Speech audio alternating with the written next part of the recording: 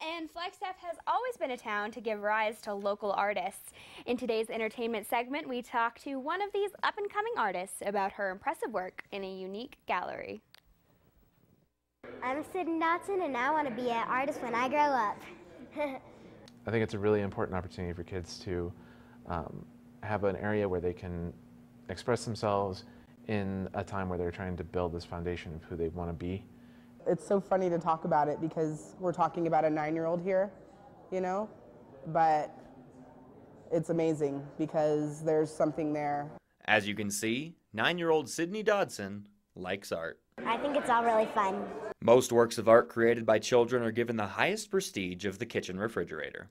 But through the youth art exhibit at the Coconino Center for the Arts, Sydnee has the opportunity to be in a real art gallery. Being in a gallery, it gives them the opportunity to see something through to the end and see that um, their hard work can lead to something really great.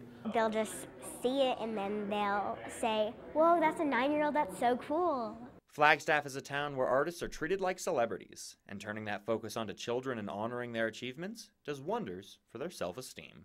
It allows them to see that they're excelling at something, and um, especially in a realm that you don't get that quite a bit, it's really important that they get that affirmation as often as possible. Through her school art program in the Coconino Center for the Arts, Sydnee got her pieces in a real gallery. But that's not the only award Sydnee has earned for her art. Last year, when she was in second grade, she won second place from the Humane Society for her art, which was really amazing. And it actually is in the 2014 Humane Society calendar. So if anybody has those out there, I'm sure you've seen it. And I was really, really happy because I got a whole bunch of art supplies and stuff like that. But it's not just the physical things Sydnee and her mom get out of art, but a great deal of love as well. This one is actually my favorite because two years ago it was my birthday gift. Knowing her mom liked Buddhas, Sydnee cut out and glued together small strips of paper, making the perfect birthday gift. I just wrote happy birthday on it and I gave it to her. She loved it so much. She was so happy when I gave it to her. She said, I love Buddhas. And I was like, I know, duh.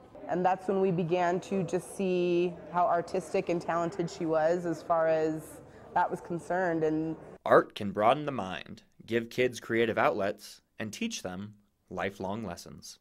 I would say even if you mess up the first time that you can do it like way more times to see if it's better the next time or the next time after that. For NAZ Today, with videographer Stephanie Frederking, I'm Mayson Agnew. Well, the youth art exhibit will run until tomorrow, so if you would like to see more of Sydnee's work or other community contributions, stop by the Coconino Center for the Arts.